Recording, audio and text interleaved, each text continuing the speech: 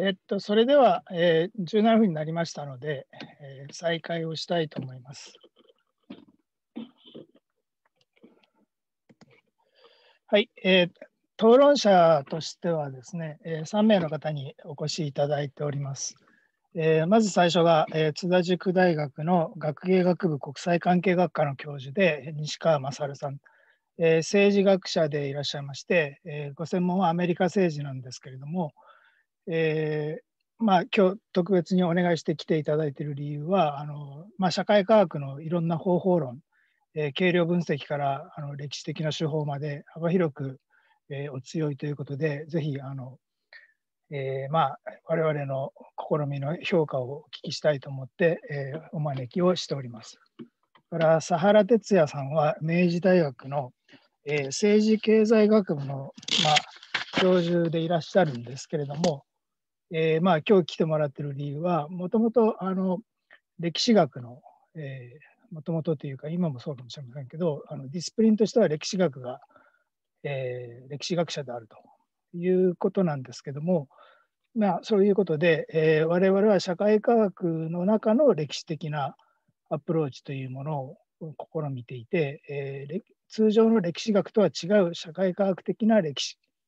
えー、的アプローチということをやろうとしてるわけですけれども、そういうのを、まあ、歴史学の方のから見るとどういうことになるのかと。まあ、全然ダメというふうに全否定されると、まあ、ちょっとややあの辛いところがあるんですけども、まあ、そうそういうことをおっしゃらないかもしれないなという社会科学もお強い歴史学者ということで佐原さんに来てもらっております。それから3番目は、えー、黒木秀光さん、東京外国語大学のアジア・アフリカ言語文化研究所の教授でいらっしゃいますが、えー、ご専門は中東地域研究、歴史学、えー、シリア、えー、レバノンを中心とする、まあ、アラブ地域研究などですけれども、えーまあ、黒木さんに来ていただいている理由は、あの黒木さんはあの大きな研究プロジェクトのリーダーを、まあ、何度もやられておりまして、えーえー、ただいまもあのイスラム信頼学という新しい大きな、えー、プロジェクトのリーダーとして、えー、やられていると。で、我々のあのグローバル関係学っていうのも、あの加点費の大型、超大型プロジェクトだったんですけども、黒木さんが今始められたばっかりのイスラム信頼学というのも、同規模のあの巨大プロジェクトでありまして、実は昨日あのキックオフシンポジウムもやられたばっかりでお忙しいところなんですけども、まあ、その、えー、大きなプロジェクトを運営するという立場からも含めてコメントいただければと思っております。えー、っと、それでは、えー、まずは、では、西川さんからお願いできますでしょうか。はい、えー、西川でございます。あの、音声聞こえておりますでしょうか？大丈夫そうですね。ありがとうございます。はい、えー、っと、はい。で、ちょっと画面を共有させていただきたいと思いますので、えー、っと、ちょっと少々お待ちください。これで見えておりますでしょうか？はい、大丈夫です。大丈夫ですか？で、よろしくお願いいたします。えー、西川でございます。えー、っとですね、あの今日は土曜日にもかかわらず、先ほどまで勤め先の大学で教授会というものをやっておりましてですね、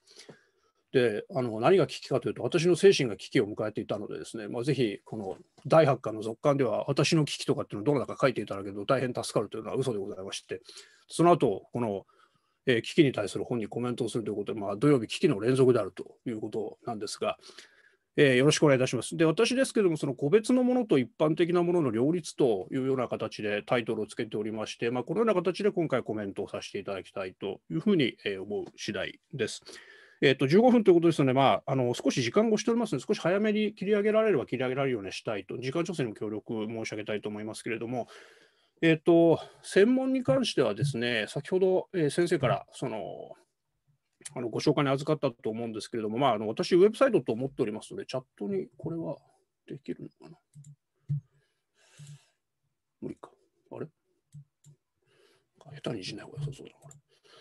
えっ、ー、と、ちょっと後であのホームページのアドレスとチャット流したいと思いますので、まあ、ぜひあの細かい専門等をその紹介する時間ございませんので、ぜひそちらはまあその後で見ていただければと思います。で今回、そのお話をいただいたときにですね、あのやはりなぜ私に最初お話が来るのかなと思ったんですけれども、まあ、もちろん地域という観点から言ったら全然専門ではございませんし、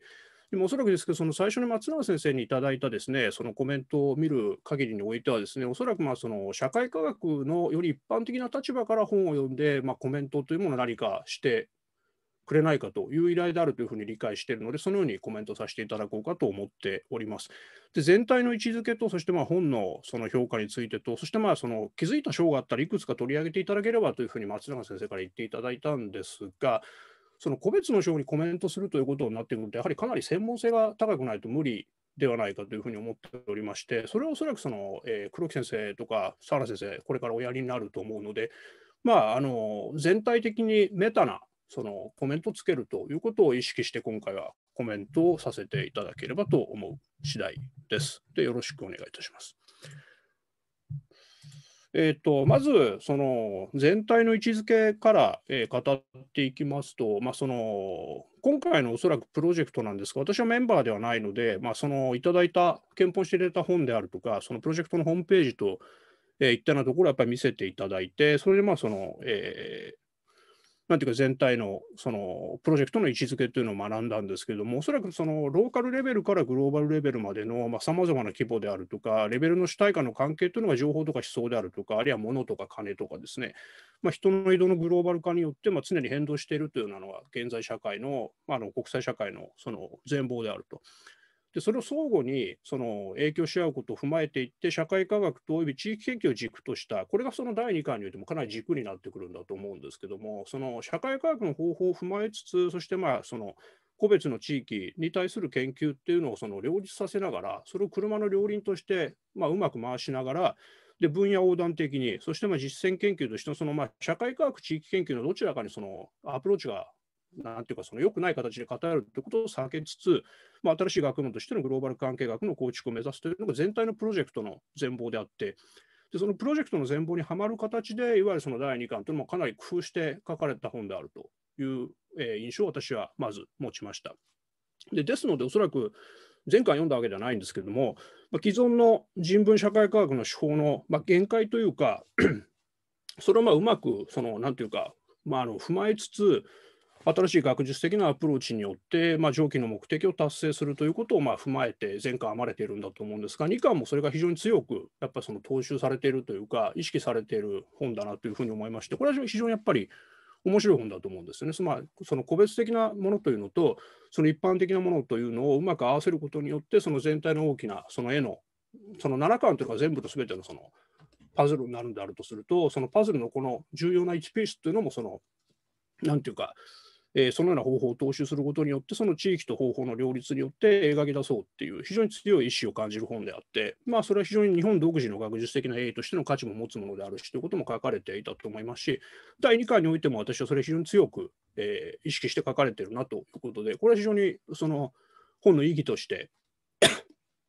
えー、すみません、えー、その強調して、えー、おくべきところだと思うんですね。まあ、素晴らしい本だという、えー、ことだと思うんです。で、この本書の特にその2巻に入っていきますと、その教会に現れる危機の狙いというものを見ていくと、そのグローバルな危機として、その例外的なですね危機の側面というのに焦点を当てていくということと、でまあ、それに焦点を当てながら、その個別の地域に関する研究というのを展開すると。しかし、まあ、その単なる地域研究の羅列にはなっていなくて、やっぱり何らかの形で書かれている方々も苦労して、その全体が一つにまとまるようにやっぱり工夫して編まれた本であるというふうに私は読みました。で特にこの部分がおそらくそのコメントが求められている中心的な部分になるんだと思うんですけれども、その統一的な研究手法というのを、やっぱその個別の、えー、説明というものを一貫して用いることによって、その個別の地域にその起きている危機というのは、何らかの表れであって、その個別のその地域っていうのは具現化している現れの背後にあるような、その何らかのシステムというか、因果システムみたいなものっていうのを描き出すということで、で一般的な説明というものと、その一般的な説明に引き付けた形でのこの描き方っていうのを両立しようというのが、この本の非常に大きな特色であるし、プロジェクト全体の特色でもあるんだと思うんですね。つまりその個別のその、えー、いろんな章が出てくるわけですけれども、いろんな地域が出てくるわけですけれども、その危機っていうのは必ずしもその個別バラバラのものとして描かれてるわけではなくて、でその危機を引き起こす錯綜的な要因を突き止めることによって、その原因から結果に至る一般論みたいなものっていうのを描出するということで、個々の地域っていうのはだから現れなんですね、その何らかの形での、その通底するものの。で、その通底するものを描くと同時に、その一つのあられとしての個々の危機っていうのも扱っていこうということで、まあ、こと全体というか、まあ、個別と一般というか、その両立っていうのを巧みに図っていこうという、えー、非常に野心的な著作でもあるし、意欲的な著作でもあるし、私、非常に面白い本であって、で社会科学としての意義も非常に高いし、その個別の章っていうの一つ一つ読んでいった、えー、上でもまあ非常に有益な情報がたくさん提供されていて、それこれ非常に面白い本だというふうに、えー、ありがたく読ませていただいたという次第なんですね。で、こと全体ということから考えていくと、私はちょっとその、やはり地域の専門家ではないので、その個別地域での事象に対するその評価っていうのは私にはちょっとできないんですよね。例えばその各章を読んでいくと、この人物は取り上げられてないとかですね、あるいはこのを読むべき、この資料をもっと読むべきじゃないかとか、あるいはこの時代のこの、なんていうかこう、えー、出来事っていうのは、その水脈の一つとして捉えなくていいのかというような、おそらく専門家同士でやり合うと、そういうの出てくると思うんですね、きっとその地域同士であるとですけれども。ただ私はその地域に対する専門性ってあるわけではないので、まあ、そこはちょっと評価できない部分があるんですけれども、ただやっぱ各省ともにですね、おおむね非常にこう、まずえー、一つのキーワードなんですけど、意外性というか、偶発性というか、逆説性というか、それが非常に高い。そしてまあ簡単にしまうと、これはなぜなんだろうと思うような、その意外性の高いやっぱり各地域のじあの事象というのが取り上げられていて、それはやっぱ学術的な追求価値の非常に高いものだというふうに思うし、でそれ単体として読んだ場合においても、やっぱその興味深い事例に対する情報提供としての価値も非常に高いものだと思いますから、これは個に対する説明としてはもちろん成功しているだろうというふうに私は思う。まあ、非常に面白く読ませていただいたんですけど、ただその地域の専門家同士でやり合うとまたちょっとわからない部分があるかもしれない。この映画抜けてるとかですね、この資料読んでないとかあるかもしれないし、あるいはこれ意外な評価で面白いとかって肯定的な評価がその、えー、同じような地域をやってる人から来る場合もあるかとは思うんですが、ちょっとその、えー、個別に関する詳しい評価というのは私にはできませんが、まあ、その単体として読んだ場合においても非常に各種非常に面白い情報をまあ有益に提供してくださっているというふうに思うんですね。やっぱその同時代的なですね、特にやっぱその、えー、主として中東地域における多様かつですね、その重層的なその危機の事例というのが網羅的に紹介されていて、でその近年の特に中東地域を中心に発生した危機の事象に対するいわゆる背景とか、まあ、その同時代的な解説として読んだ場合においても非常に有用だと思うので、そういう読み方もできる本だと思うんですね。非常にまあそのこの部分においては非常に、えー、面白い、有益な情報をたくさん提供されていると思います。でその一般論の方に踏み込んでいくと、えーと、ここは少しその疑問に思う点も、えー、2つほど述べさせていただきたいと思うんですけども、えー、多くの章においてはですね、その意外性とか偶発性とか逆説性を伴う出来事のその原因の重層性ですね、この言葉を、あの本の言葉から言うと水流ですか、ということはまあ非常にその原因から結果というのがあったとすると、その原因からその帰結に伴うその流れみたいなのが非常にこのどの章も強く意識されて、おおむね意識されていると思うんですけれども、その意外性とか偶発性とか逆説性といった時って結構その論者によって結構多様な意味で使われているような気もしていて、例えばそのペシャワールの学校襲撃とか、エジプトのその介入政策の変化とかっていうのは、起きそうにないことがなんで起きるのかっていう、かなりその逆説性があるっていう意味で使われていると思うんですけども、例えばその、えー、シリア難民の危機とかっていうことになっていくとです、例えばその、えー、4章のイランの危機なんかもそうだと思うんですけど、タイミング的な意味での意外性だと思うんですね。なぜこの時にこれが発生するのかっていう意味で使われていて、その偶発性とかその意外性とか逆説性という言葉ってもうその論者によってかなりその解釈が違っているようなところもあるとは思うんですが、おおむねその、なんていうか非常になぜ偶発的な出来事っていうのはここで起きるのか、で、その起きないはずのものってのはなぜ起きるのかっていう意味で、その意外なものっていうのを追求していこうということは踏襲されてると思っていてですね、各種非常に面白かったということなんですが、ただちょっとその偶発性の意味が少しあまり統一されてないところもあるのかなと思うのと、あとですね、3章と9章というのも、まあ、非常にこの事例としては面白いですね。で、面白いことが書かれていて、情報提供として非常に面白くて、えー、私、興味深く読ませていただいたんですけども、ややその本のですね、その原因から帰結っていうの意外なものが発生して、その原因が何なのかって、その歴史的な文脈っていうのを重層的に遡っていくという方法論を、えー、踏襲しているとは言い難い書き方を少ししているところがあって、要するにま本によってやっぱその、で編著が難しいところっていうのはですね、やっぱその、えー、みんなで書くわけですから、やっ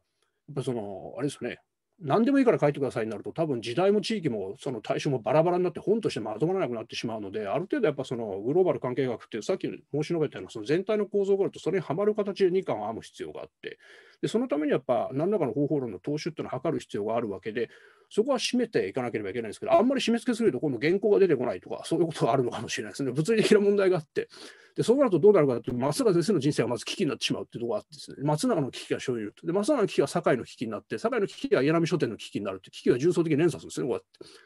でそうすると誰が責任取るかって問題になるかもしれないと思う。それは嘘ですけど。だやっぱその結構難しいところですね、これは。やっぱ方法論って緩めていくと書きやすくはなりますが、全体の統一性が危なくなっていくし、で逆に言うと、そのガッチガチにその方法論で固めようとすると、もうピースによってはまらないと、何も書けないということもあるので、そこはちょっとその物理的に難しいところだとは思うんですが、この方法論の踏襲っていうところは、厳密にいくと、そのうまくいってるところと、それとその各省によって、そのなんていうか、あの縄手してるものが少しずれてるような印象も受けるところはありますが、ただまあその、おおむね非常に方法論を踏襲して、まあ、その統一した本にしようっていう工夫は非常にそのコントリビューターからも感じるし、論者のせ、まあ、返事の先生からももちろん感じるし、まあ、非常に工夫して編まれた本だというふうに、えー、私は思いました。で、えー、これが最後の点なんですが、これが最大の疑問点ですね。疑問の2点目なんですけども、えー、この本の内容を少し超えていくんですけれども、この本で得られたことっていうのは、説明としての一般性っていうのはどれぐらい持つんですか？というのが、私が非常に、えー、お聞きしたい最大の疑問点であるということです。で、なんでこういうことをお聞きするかというと、あの本の序論に書いてあるからですね。本に序論にそういうことを書いてしまうとですね、やっぱりその特に知識のない私のような人間からしてみると、読むと、きっと書いてあることって全部答えが出てくるんだろうなと思うんですけど、序章を読むとですね、その個別の文脈の説明をなすことによって、えー、それらを生み出したですね、通じ的な関係性の錯綜と危機をも生み出すような一般的な生成プロセスを、まあ、それを見なすというふうに書いてあって、で、社会科学的に有益な一般的な知見につなげていくというようなことが書いてあるんですけど、これは私はおおってやっぱりうなり声を上げたわけです。あの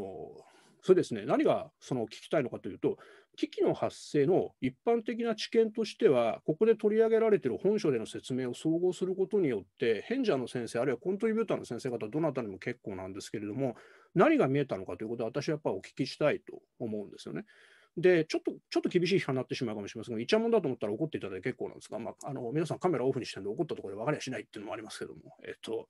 その中東地域が主として捉えられていますよね、この本だとですけれども。しかしそのまあ、中東地域だけじゃないんですけど、まあ、フランスも入ってるんですが、そもそもななんでフランスが1個だけ入ってるのかとって疑問もあるんですけれども、その中東っていう地域をなぜ取り上げるのか。で、中東っていうのはイコールグローバルではないですね。グローバルな地域の一部であって、でおそらくその宗教であるとか民族であるとか文化的な慣習であるとか、かなり共通した要素がちあの見出される。もちろん多様であることは承知してるんですが、それでもやっぱり近い要素が非常に多いところじゃないかと。で、そこを中心にする地域っていうのを、その研究することによって、この中東地域っていうドメインを超えた、そのグローバルな危機としての一般性っていうものに関して、そのいわゆる個別の現れではなくて、その規定的なメカニズムに対して、一般的な知見としては、このなんていうか、その個別性を超えるものとしての全体としての知見というのは何が得られたのかということと、あとやはりそのなぜ中東地域をあのなんていうか、一点突破して、その外に広一般論に広げていく必要があって、なぜ中東地域を選んだのかと。まあ、普段一緒に研究してて、その研究し仲間で気心知ってやりやすいからですとかっていうのが、その大人の事情とかあるかもしれないですけど、口が裂けて見えないですね、そんな価格まあ、言っちゃいましたけど、今ここで。ていうか、まあちょっとその、そこのところは少しお聞きしたいところかなと思うんですよね。一般論として何が見えたのかっていう、その本から見えた、その新しい地平線っていうんですかね。まあ、そういうところを少しもうちょっと語っていただけると、やっぱその私のような、あの、外れたことをやってる人間からしても非常にありがたかったかなというふうに思う次第です。すみません、ちょっと時間あの節約に貢献するとかって1分オーバーしてしまったという、丸げなあれになりましたですけど、私の方から以上でございます。ありがとうございます。はい、どうもありがとうございました。えー、では、続きまして、えーと、佐原さんからお願いします。見えますでしょうか？えー、明治大学の佐原でございます。ええー、まああ、松永さんというか、まあ、大学の同級生なんで松永君って言われると他人行儀で、えー、変な感じがしますけれども、まあ、依頼を受けまして、えー、読ませていただきました。まあ、あの紹介されたように、えー、歴史研究者ですので、まあ、ちょっと畑違いのところがあるんですが、まあ、いずれも常々こう関心を持っている主題でしたから、非常に興味深く読ませていただきました。で、えー、まあ、5つぐらいですね、ポイントを挙げて、えー、コメントをしたいと思います。で最初は、えーまあ、歴史学者の目から見てどういう評価になるのかっていうところですけれども、えー、この、まあ、関係学的アプローチ、えー、松永君の言い方だと、そのコンティンジェント、えー、コンジャンクションっていうんですかね、まあ、こういう考え方、まあ、つまり危機が複合的で要因で発生するんだっていうのは、これはまあ歴史研究においては、まあ、ある意味こう常識であってですね、えーえー、こういう手法が、えー、重要なんだっていう、まあ、松永君の主張にはまあ全面的に、えー、賛同したいと思います。ま歴史学、特に日本の歴史研究って近年、なんていうか、行動のための世界認識っていう視点が極度にこう後退して、えー、保守化しているので、えー、本書はあ、まあ、そういった歴史学者たちにとっても、まあ、一つの刺激になるんじゃないかとも思いました。まあ、歴史学と、まあ、いわゆる IR の違いっていうところの問題っていうのも、まあ、もう一つ指摘したいと思いますけれども、まあ、歴史学っていうのは、まあ、近代史は扱うにしても、一定程度こう時間が過ぎてますから、まあ、対象と、あ、る意味こう安全な距離が保てるわけですね。まあ、それに対して、え、IR や、まあえー、国際政治っていうのはまあそうでないっていう点が、まあ、かなり違うところなんだと思います。で歴史学の有利な点っていうのは、まあ、時間的な距離がまあ保たれるので、まあ、原子量を含めた新た新たな情報っていうのがまあ手に入るわけですね。まあ、それに対して、まあ、IR の場合は、まあ、現在進行形の事実を説明するわけですから、まあ、資料がないっていうことだけじゃなくて、例えばこう政治的なプロパガンダの影響っていうのを受けやすいっていう特徴もあると思います。ええー、まあ、事件が起こっている最中ですね、えー、使える主な情報源というと、まあ、政府や国際機関の、まあ、公式のコメントであったりですね、あるいは、えーまあ、メディアの情報なんかもあるけれども、まあ、そういうところでは、まあ、いわゆるこうポリティカリーコレクトっていうんですか、まあ、今、建前化された嘘っていうのがまあ支配的ですから、まあ、そういったものを、えーえーまあ、整備整理しながら、まあ、事実っていうのは何かをこう確定していくっていう作業が、えーまあ、IR の場合、非常にまあ難しいっていうところがあると思うんですよね。で、えーまあ、こうしたところにおいては、まあ、歴史学が長年培ってきた、まあ、いわゆる狩猟批判の手法っていうのをもっと応用できるんじゃないか、ま、こういう、えー、ことが言えると思います。また、この狩猟批判っていうのも、ま、間接的な情報をもとに、え、事実を策定していくから、ま、どうしてもこう情実が長長くなっちゃうっていう点があると思います。で本書の、まあ、一つの印象として、ちょっと私服が足んないんじゃないかっていうですね、えー、感じがいたしました。まあ、いずれも、まあ、セッティングをこう説明して、じゃあいよいよ本題に入るのかなっていうところで、まあ、結論になっちゃうっていうですね、まあ、ちょっとそういう意味では、あのまあ、消化不良的なです、ね、感覚を覚えました。えー、次2点目ですけれども、まあ、この本は、えーまあ、危機を取り上げるっていうことですが、まあ、論者によって、まあ、危機に対する認識や、えー、位置づけが違っているというところがあると思います。まあ、西川さんも指摘されていたところですね。で、えー、じゃあ、あえてその本書に共通する変化とは何かっていうのを考えてみたんですが、まあ、僕が読んだ印象では、まあ、アメリカの存在感っていうのは薄いっていう印象が、まあ、見られます。まあ、例えば、こういった企画を、えー、90年代の後半とか2000年代の前半みたいな時期にやってるとですね、いずれも、えー、アメリカの存在感っていうのは、まあ、もっと大きくなったんじゃないかっていう感じがします。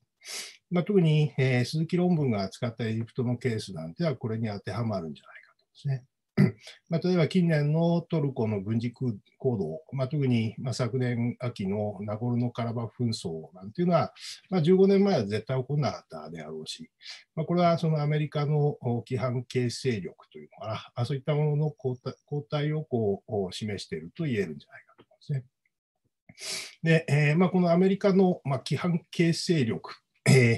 ていうのは、まあ、いわゆる hegemony とかですね、あるいは、まあ、パックスアメリカーナ時代のアメリカのご威光といった方がいいかもしれないけれども、えー、こうしたものの、えー、後退した背景とは何なのか、まあ、これを考える上でも、まあ、本書の論文は、まあ、大部分がですね、非常に示唆的なところがあります。で、えーまあ、一般には、まあ、こうした現象ってはいわゆる多極化の進行であるとか、あるいは中国、インド、ロシアの台頭であるとかですね、えー、えアジアインフラ投資銀行の設立みたいなですね、えー、既存の、まあ、秩序に対抗する、挑戦する新しい機構の存在感が増しているっていう点で説明されるんだけれども、えーまあ、それだけではないだろう。そして、まあ、それを考えるヒントが、まあ、この週にもあったんではないかというふうに読みました。で3つ目のポイントですけれども、非常に気になるのは、えー、ほとんどの論者が、まあ、いわゆる国民国家を分析の枠組みに、まあ、使っているというところですね。でこうしたまあ方法論、まあ、別に否定するつもりはないわけですけれども、まあ、例えばそのメアリー・カルドの新戦争論みたいですね、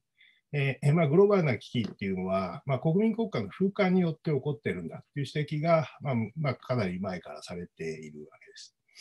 で、えーまあ、パクス・アメリカーナの主演っていうのの背景っていうのも、まあ、それと共通しているところがあって、まあ、例えばその新自由主義として表現される、まあ、グローバル資本主義の支配的権力形態の特徴っていうのがですね、ええー、アメリカといった、まあ、特定の国やあるいは西側と表現される、まあ、旧帝国主義諸国軍からですね、えーまあ、ダボス会議に象徴されるように、まあ、国家だけじゃなくて、まあ、多国籍企業や、まあ、NGO なんかも加わった主体によって、えーえーえーまあ、作られていくように、まあ、なっているわけですね。で、えーまあ、こうした、えー、システムの特徴として、まあ、従来の、まあ、いわゆる近代世界システムってある地理的な中心を持ってたわけですけれども、まあ、近年のえ状況を見ると、まあ、特定の、ま領域に、ま限定されない中核が生まれているという感じが、まします。そして、えーえー、まあ、こういった議論、例えば、えーまあ、ダニエル・ウッドリーってイギリスの、まあ、批判的 IR っていうのの専門家なんかは、えー、新たなその資本主義的主権が生まれてるんだって言い方を、まあ、しています。まあ、それによると、その多国籍企業群が世界市場の支配をめぐってこうしのぎを削っていると同時に、えー、企業群総体にとって公的な構造的状況を求めていて、そしてそれを再生産できるような長期的権力が生まれているんだ。まあ、こういうふうに説明されるわけですね。でその結果、まあ、自由に国境を越えて、まあ、資本蓄積と利潤を追求する資本の論理っていうのがむき出しになってきて、で従来、まあ、国益と表現されてたような、まあ、特定の地理的領域の支配階層の利害に縛られずに、まあ、自由に貫徹するようになっているわけです。そして、えー、資本は、まあ、思い思いの方向に拡大することになって、まあ、その結果、まあ、領域的政治権力の伝統的なカテゴリーに属さない、まあ、グローバルな資本主義的権力形態が統制力を及ぼすようになった。まあ、こういうふうにまあ説明しようとしてですね。でこうした見方を取り入れると、まあ、アクチュアル論文が指摘するようにですね、えーまあ、チンジアの大衆運動の原因であった。経済格差というのは新自由主義政策によって起こっているんだけど、しかし、まあ、革命の結果、えー、経済的な格差っていうのがより、えー、拡大して悪化しちゃうっていう、まあ、矛盾した現象の意味っていうのもまあよくできる、理解できるようになると思います。まあ、つまり、えー、グローバル資本主義の論理っていうのは、まあ、市場に対して相対的に強い統制力を発揮できる権威主義的な独裁政権よりも、えー、市場に対して、えー、強い力を貫徹できないポリアキー的な体制を好む傾向にあって、まあ、その結果、まあ、民主化なるものがこう、まあ、促進されるんだけれど、しかし、まあ、そうした体制の下では、まあ、資本蓄積がより急速に進行して、そして、えー、より多くの人々が、まあ、化しちゃうんだ。まあ、こういうふうに、まあ、なるんですね。で、えー、まあ、そういった、えー、見方っていうのができるんじゃないかと、まあ、思ったわけです。えー、で、4つ目の、まあ、指摘ですけれども、えーまあ、本書のこう表題にもある教会っていうですね、概念。これがちょっとまあ何を意味しているのかっていうのが、えー、まあ本全体を通じて、えー、はこう貫徹してないという印象をまあ受けました。まあまあ、松原君は、かっこつきで使ってるか、まあ、そういう配慮もあるんだと思いますけれども、まあ、通例、こう、境界っていうのは、まあ、複数の実態が交差する空間っていうのを意味するんだと思うんだけど、まあ、思うわけですけれども、まあ、この、ここでまあ論じられている境界っては何の境界なんだろうっていうですね。で、えーまあ、先ほどのこのパクス・アメリカーナの崩壊っていう、うんうんまあ、パラダイムにかぶせて議論すれば、えーまあ、多極化の進行によって、パクス・アメリカーナ的な領域が後退していって、えー、新興国や新興地域機構が伸長して、まあ、そのせめぎ合いの空間というのは世界各地で生まれているわけですけれども、まあ、それが、まあ、境界なんじゃないか、まあ、こういう読み方もできるんだと思いました。まあ、特に、えー、井上さんの論文であるとか、えー、松永君の論文っていうのは、まあ、アメリカの権威のこう交代と、そしてまあ中国等の、えー、台頭の中で起こってきてる危機なんだっていう見方を、まあ、部分的には取っているので、えーまあ、かなり、えーまあ、私服の問題もあったんでしょうけれども、えー、そうした、えー、点は、えー、他の論文でも、まあ、言えたんじゃないかと思うんですね。で、えーまあ、今言ったようにですね、まあ、グローバリゼーションの支配的な制度やイデオロギーっていうのは、ええ、アジアその他の地域で、えー、金融や経済の新たな集中権が確立したことによって、こう西側が、えー、伝統的に持っていたこう地地政学的な統制って言ったらいいでしょうかね。まあ、そういうものを超えて、まあ、展開するように、まあ、なっているわけです。で西側では、まあ、ロシアや中国っていうのを脅威とみなして、えー、こう軍事的な構成を強めているけれども、しかし、まあ、圧力の本質っては冷戦期のようなイデオロギー対立ではなくて、まあ、資本の蓄積様式のあり方をめぐるものであってですね。ですから、まあ、軍事的には解決できないわけです。まあ、例えば、アメリカは従来の G7 から、まあ、G20 っていう枠組みを使って、そして、えーまあ、地政学的な統制をかけようとしているけれども、しかし G20 っていうのの内部では、えー、西側と新興国の対立だけじゃなくて、西側同士や新興国同士の利害対立が複雑に、まあ、絡み合って展開しているために、まあ、ほぼアメリカが期待したような規範形成力を持てないっていうのが指摘されているわけですけれども、えー、その背景にも、まあ、こういったことは言えない。あるいは、アメリカ政府が進めようとした TTP や TTIP といった、まあ、地域経済圏構想っていうのもですね、それをまあ設定しても、結局その領域から、まあ、資本が逃げていってしまう、まあ、吸い抜けていってしまうので、えー、効果を、えーまあ、発揮できない、まあ、こういう現状っていうのは、えー、いろんな地域や国に現れていて、それがさまざまな、まあ、形を取るんだというふうに、まあ、本書の指摘は読むことができるんじゃないかと思いました。えー、5つ目の点、まあ、この辺も、えー、西川さんの指摘と重なってるんですけれども、えーまあまあ、辺境とか、えー、境界っていうのは、結局取り上げている対象がムスリム諸国であるっていうところは何を意味してるんだろうということですね。で、えーまあ、もしそのムスリム諸国一般が境界なんだっていう暗黙の了解があるんだとすると、まあ、そうした見方っていうのは実は認識論的な境界なんじゃないか。つまり、まあ、西洋中心的主義的なこう認識が生み出している境界ではないかっていう、まあ、疑問が出てくる。まあ、今、伝統的にムスリムっていうのは、まあ、他者であってですね、まあ、境界の向こう側にいるんだ。まあ、こういった、まあ、西洋的な世界観の影響を無意識に受けてるんじゃないか。まあ、そういう印象もあります。えーまあ、ついでに言うと、人権とか民主主義とか援助といった概念が使われているけれども、まあ、ここにも、まあ、西側的な、えー、普遍主義の影響っていうのをまあ感じるんですね。まあ、論集が、えーまあ、従来の IR の方法を批判するんだっていう、スタンスを取っているわけですけれども、この新しい方法論を提起する際に、果たしてその既存の社会科学の分析概念にも批判的な視点を向けなくていいのか、まあ、こういう、えーまあ、なた疑問がですね、まあ、湧いたわけです。まあ、具体的に言うとですね、まあ、本書の多くの論者が使っているそのイスラームっていう概念が、まあ、まちまちであるっていうところも気になりました。まあ、例えば井上さんや、まあ、稲永さんの論文の中では、まあ、イスラームっていうのがどうもこう 世俗主義や普遍主義の追概念、対概念として使われているように、まあ、見えるわけですね。稲永さんの論文では、まあ、フランスの、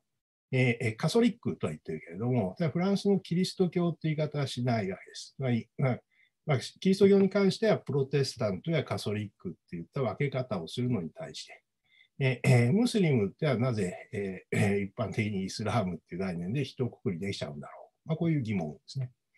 まあ、井上さんの場合でも、じゃあパキスタンのイスラム主義って言い方はするけれども、じゃあその中に、えーデオバンドの連中がいたり、まあ、ハナフィ至上主義者がいたり、あるいはそのマウドゥーディみたいな、まあ、サラフ主義がいるわけですけれども、まあ、こういったものを、えーイスラームとして一括りにしちゃっていいんだろうか。まあ、こういった、まあ、疑問ですよね。また、そうした、まあ、方法論っていうのは、まあ、イスラームっていうのは、まあ、井上さんはさ今日おっしゃってましたけれども、ええまあ、非常に多様なものであって、ええまあ、伝統的な文化とも結びついた多義的な規範体系であるから、まあ、一括りにできないわけですけれども、まあ、それを一括りにしちゃうことによって、ええまあ、一種のこうイスラモフォビア的な、えステレオタイプを読者に与えちゃうっていう危険性があるんじゃないかとこう思いました。えーまあ、以上が全般的なコメントですけれども、まあ、最後にちょっと個々の論文で、まあ、いくつか、えー具体的な質問をしたいと思います。でまずあの鈴木さんの論文ですけれども、まあ、この エジプトの事例を取り上げてますが、えーまあ、そこで出てくるこ同胞団という概念が一つ鍵になってるわけですよね。で、これはその私も同じ見解で、えー近年、その同胞団に対する扱いっていうのが、えーまあ、中東のコアな、えーえー領域ですね、非常に重要な、えー今基軸になっている、まあ、特に国際関係の規定的な要因になっているという印象を受けています。で、まあ、質問としては、まあ、こうしたことが先ほどのそのパクスアメリカナの衰退とどう結びついているんだろうということですね。まあ、特にその同胞団に対してアメリカは非常にこう曖昧な態度をとっているわけです。で、こうしたことが、えーえまあ、そのアメリカの規範形成力の後退と、えー結びついているんじゃないか。まあ、こういう疑問を持ってるんですけれども、まあ、それについて鈴木さんがどう考えるのか。これがまあ質問のまず第一です。えー二つ目はあの岩坂さんの論文ですけれども、まあ、岩坂さんのこう説明の仕方って非常に分かりやすくできてるんだけれども、まあ、一つこう、まあ、疑問というか、まあ、僕の意見ですけれども、まあ、この岩坂さんが、えー説明された、まあ、新たなクルド人問題の、まあ、一つの鍵、もしくはこう 転換点というのは、まあ、ドルマ・バフチェ合意にあったと言えるわけですが、まあ、本文の中でそのドルマ・バフチェ合意については、ま割とさらっとこう触れてるんですよね。まあ、エルドアンが突然それを、えーえーまあ、保護にしちゃったんだというわけですけれども、まあ、僕の分析だと、そのドルマ・バフチェ合意の背景っていうのは、エルドアンとオジャランがこう進めてきた、えー構想に対して、えーデミルタ州みたいな若い連中が、えーまあ、逆らってですね、そして、まあ、ハーデーペイ単独で選挙参加を決めたっていうことに、まあ、エルドアンが激怒したっていう、そういう構図があるんじゃないかと思うんですよね。で、この、えー意味っていうのは、まあ、クルド人問題全体の転換点にもなったんじゃないかと思います。というのは、まあ、その後の選挙で、えー、ハーデーペイは安定して10%の選挙障壁をクリアできるようになりましたから、えまあ、そのことで、その AKP 自体が従来のクルド問題を、まあまあ、180度転換して、そして、えーメハーペイと手を組んでですね、えーイスラム主義と、まあ、トルコ民族主義っていう水と油を無理やりこう混ぜて現在の、まあ、トルコ政治が進んでいるわけです。まあ、それに対して、このハデペの存在感っていうのは、まあ、より一層強まってきているわけですね。で、ハデペンの特徴ってのは、そのクルド人政党であるっていうだけじゃなくて、まあ、アレビや LGBT であるとか、あるいはマルクス主義者、アナキストなんかも加わってるんですね。えーまあ、複合的な、まあ、政治組織であって、ええーまあ、その意味で、まあ、トルコ国内のこうマイノリティの利害を包括する政党として、えーえーまあ、変化しつつあるんじゃないかと、まあ、僕は考えているわけです。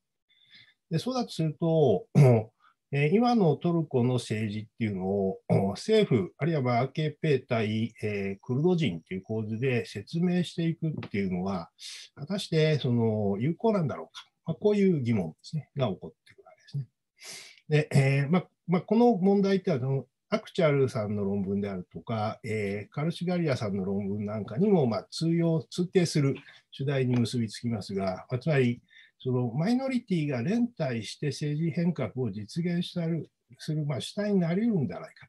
そしてそれはそのトルコでも可能なんじゃないか。まあ、こういう問題を提起しているんだと、まあ、見ることも読め、まあ、できるんじゃないかと思いました。えーえーで、えー中山さんのおとですね、えーえあと、まあ、田さんの論文に対してもちょっと若干質問したいと思います。で、えー中山さんがそのドナー国の問題に注目しているというのは、まあ、これ非常に新鮮な、えー見方だなという印象を受けたわけです。まあ、ここで展開されているその西洋的人道規範を共有しないドナーの増加が、えー、UNHCR の性格を変えるんじゃないかっていう問題設定っていうのも、まあ、今、先に私が示したような、まあ、資本主義的主権の登場という現象と、まあ、結びつけて考えることができるんじゃないかと思いました。で、えーまあ、この長山さんとの、えー、錦田さん、まあ、特に錦田さんからに関しての質問としては、その難民という概念っていうのが、まあ、ここで、えー、使われているようなもので本当にいいんだろうかというですね。まあ、その難民というのは戦争や政治的迫害、あるいは自然災害が原因で、まあ、移動を余儀なくされた人々で保護しなきゃいけないんだ。まあ、こういう、えー、概念だと思いますけれども、果たしてこれは妥当なのかということですね。まあ、例えば、え、ギリシャの、まあ、レスボス島っていうのはあの、2015年の欧州難民危機で、まあ、中心になったところですけれども、まあ、そこでやってきた人たちって実はシリア人じゃないですよね。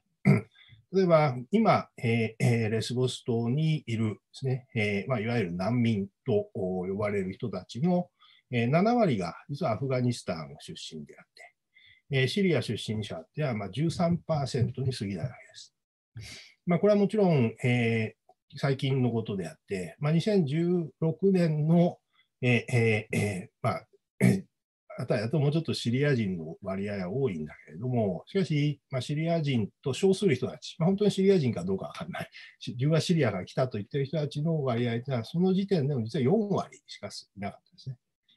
で、その残りはアフガンやイランや、まあ、イラクの出身者であったわけです。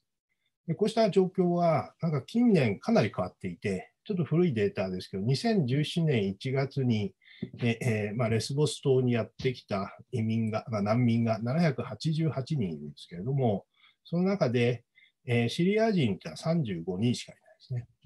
で残りはどうなってるかというと、コンゴ民主共和国出身者が131人、アルジェリアが110人ですね、アフガニスタン103人、イラク52人、エリトリア30人、カメルーン28人、え、モロッコ25人とかですね、まあ、こういったように、まあ、非常に、えー、多角化しているわけです。で、えー まあ、中にはですね、えー、ドミニカからやってきてたり、ハイチからやってきてたりしている人も、まあ、いるっていうですね。えーまあ、このように、その難民っていうののカテゴリーっていうのは非常に多様化しているんですね。で、えー、まあ、まあ、なんていう一つの見方としては、まあ、今、難民と、まあ、されている人たちの大部分が、自国の未来に希望を持てずに別の街でチャンスをつかもうとしている人たちが多いんじゃないかという印象を受けるわけです。で、えーまあ、こうした、えー、人たちを、まあ、どう捉えるかということですね。で、この難民が多極化している背景としてですね、えーえまあ、特にギリシャで、えー、シリア人じゃない、まあ、シリアから来たんじゃない、えー、難民が増えている理由って、シリアから来たっていうふうに、ええーまあ、申告すると比較的簡単に難民に認定されるのに、え正直に出身国を明らかにすると拒否されちゃうという現実もあります。ええ例えば、え2019年にギリシャで難民申請したのは7万人ぐらいですけれども、えそのうちの31%がアフガニスタンの出身で、シリア人が14%、シリア出身者は14%ですね。で難民認定された人の割合を見ると、シリア人の場合99%が難民認定されているのに対して、ええアフガンの人たちは31%しか、え難民として、え認定されないわけです。パキスタンのからの、まあ、難民申請者って全体の 9, は9%いるんだけれども、パキスタン人の場合2%しか、え難民として見なされない。まあ、こうしたことっていうのは、要はその本人たちの状況を云々ではなくて、難民としてそれを認定する側の主観や価値観によって決まっているということを、まあ、示してるわけですね。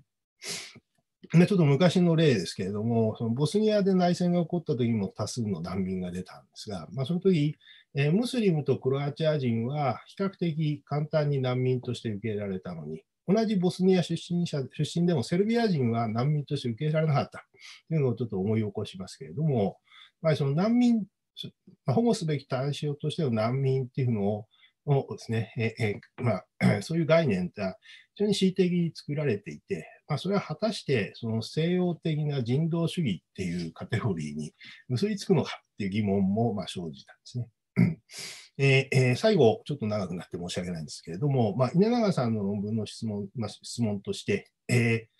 まあ、その論文の中では、まあ、マクロンが進める、えーえーまあ、来水帝っていうのはムスリムを統制する、手段なんだっていう言い方ですけれども、えー、今出てきているこの、いわゆる反分離主義法案っていうのを、まあ、稲永さんどう見ているのかっていうのを関心が見えました。つまり、そのマクロンっていうのは、この反分離主義法案とはイスラムそのものじゃなくて、まあ、政治的なイスラム、つまりサラフ主義を標的にしてるんだ。まあ、繰り返し言ってるわけですよね。で、こうした、えー、見方っていうのは、その稲永論文で展開されたような、えー、共和国の危機っていう、うんまあ、構図の中でどう説明できるのか、この辺に、えーえー、興味が、えー、湧いたわけです。非常に長くなって申し訳ございません。えー、以上でございます。はい、どうもありがとうございました。えー、では、えー、続いて黒木さん、お願いできますでしょうか。はい。えー、っと、見えてますでしょうか。はい、大丈夫です。こちらから失礼しました。はい、あの、えー、っと、なんていうんでしょう、あの西川さんと佐原さんの、えー、非常にえー、充実した素晴らしいコメントの後にあの話をするっていう大体こういうのはあの順番があの後になるほどあのそうですね子どものあの音楽の演奏会と同じでですね、えー、後にあの先に素晴らしい演奏されちゃうと後のあのものは非常に あの言いづらくなるという問題があるんですが、まああのえー、とりあえずあの、えー、ちょっと申し上げたいことを申したいと思います。あのまあ、松永さんとはあの、えー、学部時代からあの同じ教室で2人だけの授業に出たりとかですね、なんかそういうこともありまして、あのこれはあの引き受けしなければと思ってあのお受けしました。であのまあ、あの拝読しまして、あのまずその、えー、枠組みに対するですね、まあ、非常に、えー、強い共感といいましょうか、あのそれはあの先ほど澤原さんもあの言われていたんですが、あのえーまあ、これはあの歴史学との接点、非常にあの強い、えー、方法を取ってらっしゃるということで、えー、それはあの非常にあの面白くあの、えー、拝読しました。えーまあ、特にその、まあ、ここでは、えーまあ、この思いがけない出来事、まあ、その出来事っていうのもこれもあの、えー、例えばあの、えー、フェルナン・ブローデルなんかもそういうことであのあその前にまずあの私の自分の専門はあの、えーまあ、歴史学は歴史学なんですがあのいわゆるその史学科を出た人間ではございませんのであのちょっとそういう立場の、えー、中東の,、まああのえー、シリアとかレバノンのオスマン帝国期の、え、歴史を専門としています、えー、そういう人間からまあ見てっていう話なんですがあの、えー、そういうところでもあの、えー、非常に、え、ああの共感するなという点でですねあの、えー、そう思いながら読んでおりました。でとりわけですねあの、えー、この松永さんの言葉でその複数の異なる通じ的関係性の層ですね、まあ、それは水流という言葉でも言われてるわけですがこれが重層的に流れていてそれぞれが異なるスピードで変化するで相互に関係づけし合うというこの記述でですねえー、っとまあ まあ、これはの松永さんのお考えと、それから、えー、とりわけそのアボットという、まあ、そのアメリカの社会学者の大化の話 があの中心になってあのこのこういう考え方が出てきてると読んだんですが、えー、私もですねあのちゃんとだから、えー、松永さんの授業に出てですねそういう話を聞いておけばよかったんですが、えーそまあ、シリア内戦というものをどう考えたらいいだろうかっていうことをあの、えー、あれこれ考えている中であのそれとあと私自身の専門のその19世紀のシリアにおけるその宗派的な問題っていうのをどうやって考えたらいいだろうかということであの、まあ、こんなことを考えたんですね。あのまあ、多層要するにその重層性っていうものをどうしてもあの考えないといけない。でそれをどうやってあの、えー、概念的にこうあの考えたらいいだろうかでいろんな要素があってその要素をどう考えればいいかっていうことですよね。であのでその時に、まあ、私はこの、えーまあ、これもレイヤーなんですけれども一番下の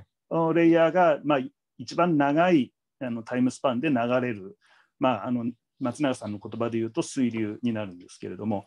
えー、で表面の方がだんだんだんとですね短いスパンで動く要素ですね。さまざまなその、えー、例えば、えー、人口問題とかいうのは割と下の方の層に行くでしょうし、えー、都市農村関係とかですね、まあ、そういったさまざまなその問題のそのえー、それがさあのいろんな形で組み合わさって、えー、表面に、えー、その断層線を、えー、いろんな形でそれをあの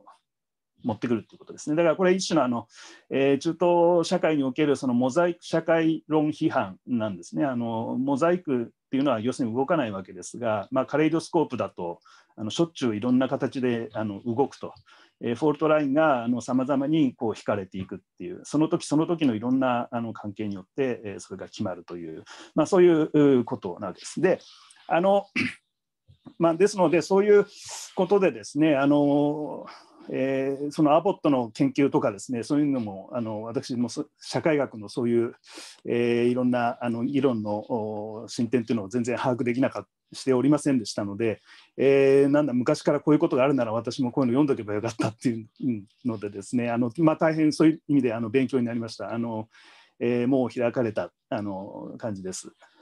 であの同時にそのこの本書があの、まあ、これシリーズ全体がそうなわけですがその関係ですよね。関係というものを、え、いろんな、まあ、正面からあのこれをあの捉えてですねそれを論じる。であのいろんな角度からこれを議論しているっていう点で、まあ、これ非常にあの意味があることでで、まあ、考えてみるとその歴史学でもこの関係というものをあのまあ、90年代、ぐらいからですね、あの非常に重視して、まああのえー、ソシアビリテとかですね、まあ、そういう形で、えー、二宮博之さんがあ、まあ、非常に議論したりとかですね、まあ、いろんな形でこうあの議論されてきてるわけですね。でそういう点でですねあのやはりいろいろあの読みながらあのあの共感しながら読んでおりました。であとあの各所の議論、まあ、これも今まであのお二人からあのありましたけれどもあの、えーまあ、読んで本当によく勉強になりましたし、えーまあ、それぞれのあの章のまあ、議論が、まあ、専門的なその個別の独立した論文としても非常に、えーまあ、非常に確かな研究が並んでいるという印象を持ちました。で、えー、でそれでですねあのまあいろいろまああの疑問というかあの考えたことがありましてでこれはもうあの先ほど佐原さんがあの指摘されたこととあのほぼ重なり合うんですけれども、えーまあ、このグローバルな危機っていうものこれどう考えるかっていうことなんですよね。でグローバルまあ、これはあのグローバル関係学ということですので、えー、まあ、非常にこれはあの重要なキーワードになってるんですけれども、えー、まあ、それぞれのその何て言うんでしょう章ので対象としていることがどうグローバルなのかっていうことがあの、まあ、これがあのいろいろその、えー、異なるわけですね。でまあ一種あのまあ、とりあえずその一つのことが起こってるけどもその背景にある、まあ、要するにこの本書の一番中心的な論点である。それが寄ってきたるところのですねあの過去のその時間的なさまざまな要素の絡まり合いっていうものなのでそれをたどっていくとそれはいろんなあの世界的なあ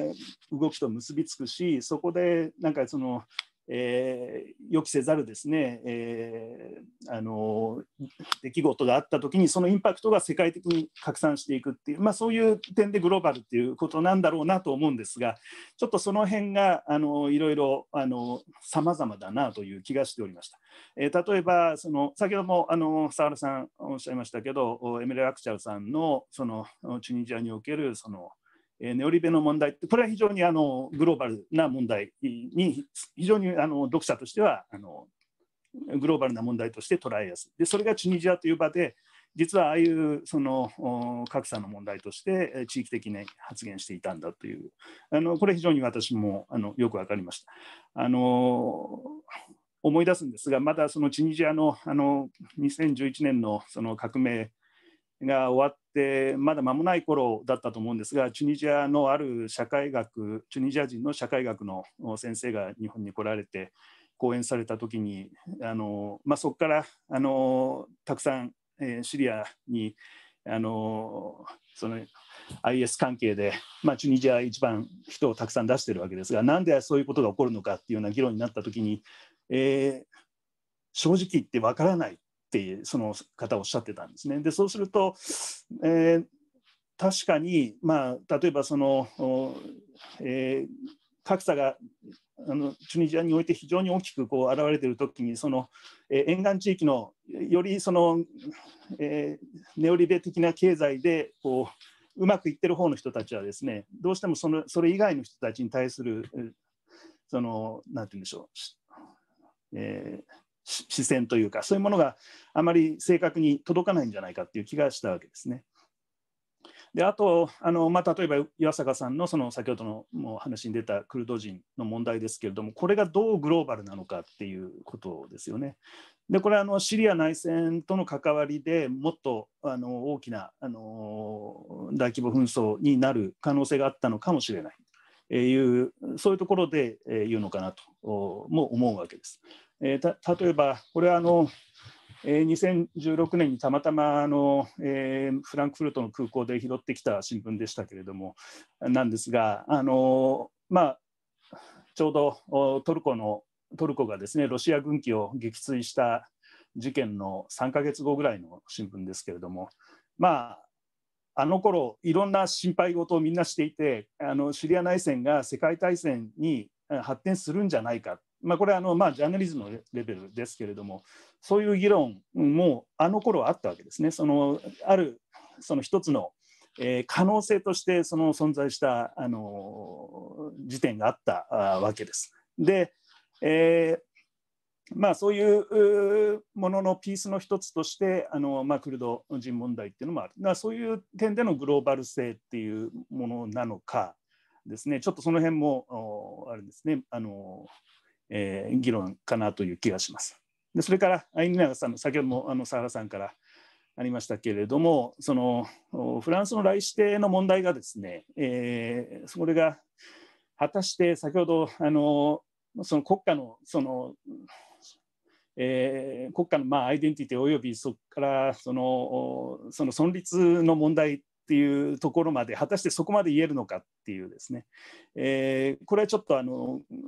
グローバルな問題というよりはむしろ極めてフランス的な現れ方と言うべきなのではないかっていう気がいたしました。であとこれも全く佐原さんとのあの重なってしまうところなんですが、えー、この教会っていうのがどうもあのはっきり、えー、その人によっていろんなレベルの教会があの、えー、議論されてるしその教会自体がよくわからないところもあったんですね。えちょっとこの各所あの、え、私がこれが教会なのかなっていうあの鈴木さんはあのその、えー、説のタイトルに境界線ということを明確におっしゃってるんですがあの他の方々は必ずしもこの教会っていうのがあの明らかでないしあの、えー、ちょっと解釈にちょっと困るところもございました。あのまあ、その辺あのちょうど先ほどあの私あのあの松永さん紹介してくださった時にあの、えー、そのイスラム信頼学っていうその、えー、学術変革の科研の始めたばかり。あの佐原さんもそこの分担者に入っていただいてるんですけれども、えーまあ、そのあの科研もですねあのこの関係性というかコネクティビティという言葉でその関係えー、をあのそのイスラム京都が、まあ、歴史的にどういうふうにその関係性をあいろんな横のつながりを持ってきたかっていうところで一つ考えるプロジェクトなんですが、えー、その何て言うんでしょう、えー、そこでも必ずその教会っていう概念これあの問題になるんですね。えー、教会を超えて関係を作っていくっていうその発想です。でこの場合のだから境界、まあ、ボーダーとかバウンダリーとかあのディビジョンとかいろんなあの考え方があると思うんですがあの、まあ、本書はあえてそのさまざまな境界っていうものをあの議論したっていうことなのかと思うんですがちょっとその辺がもう少しあの、えー明確化されてればよかったかなというふうに思います。えー、すみません、以上です。えー、はい、ありがとうございます。